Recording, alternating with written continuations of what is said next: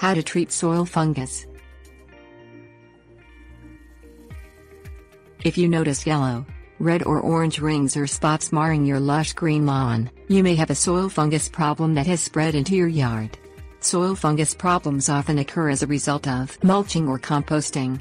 While mulch and compost do help control soil temperature and improve drainage, fungi living in the mulch can cause problems for your grass and plants if the mulch or compost was not decomposed or treated properly. Things you will need. Fungicide. Baking powder. Spray bottle. Cornmeal. Grass clippings. Poultry manure or urea Purchase a fungicide approved for use on the type of grass and plants you have and apply it to your yard according to the manufacturer's directions. Mix water and baking powder together in a spray bottle and apply it directly to areas with soil fungus problems. Use 2 to 3 tablespoons of baking powder in a 16 to 20 ounce spray bottle. Do not add so much baking powder that the mixture becomes too thick to spray easily. Sprinkle cornmeal over fungus infested areas.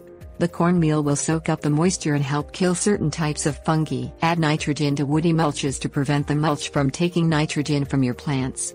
Add grass clippings to your wood mulch before composting or use poultry manure or urea to add nitrogen. Saturate compost and mulch with water right after applying them to your soil.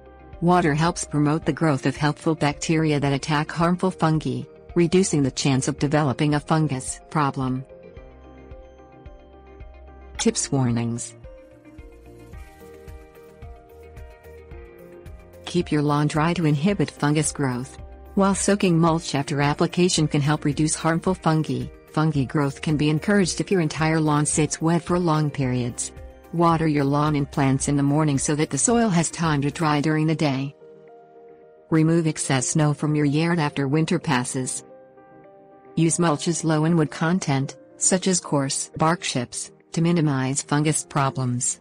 Finely ground mulches should be composted before applying them to your lawn to avoid soil fungus.